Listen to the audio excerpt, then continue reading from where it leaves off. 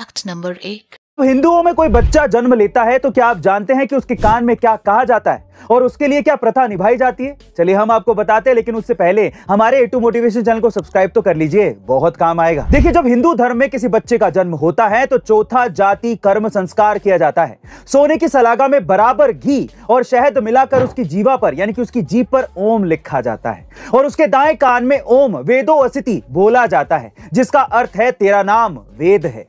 वेद शब्द विद से बना है और जिसका अर्थ है ज्ञान अर्थात तू ज्ञान प्राप्त करने के लिए पैदा हुआ है। तुम्हें विद्या धारण करनी है और जो शहद उसे खिलाया जाता है उससे पित्त के रोग दूर होते हैं और घी से वात के रोगों से मुक्ति मिलती है और जो सोना घिसकर चटाया जाता है उससे बुद्धि तेज होती है। Number दो. द केरला स्टोरी आज के लिए फ़िल्म बड़ी चर्चा में है और मेरा ऐसा मानना है कि अलग अलग लोगों की अलग अलग सोच से पर्दा भी उठा रही है। देखिए, इसके रिएक्शन को ध्यान से समझिएगा। जहाँ एक तरफ़ मध्य प्रदेश में इस फ़िल्म को टैक्स फ्री कर दिया मतलब मध्य प्रदेश की पॉलिटिकल पार्टी ये चाहती है कि भैया आप इस फ़िल्म को कम पैसों में देखो, लेकिन देखो ज़रूर। वहीं दूसरी तरफ़ ममता बनर्जी ने वेस्ट बंगाल में इसे पूरी तरह से बैन कर दिया है। गाइस अब मैं इसमें कुछ नहीं कहूँगा। आपको क्या लगता है कि एमपी में इसे टैक्स फ्री क्यों किया? और वेस्ट बंगाल में इसके उलट इसको बैन क्यों कर दिया?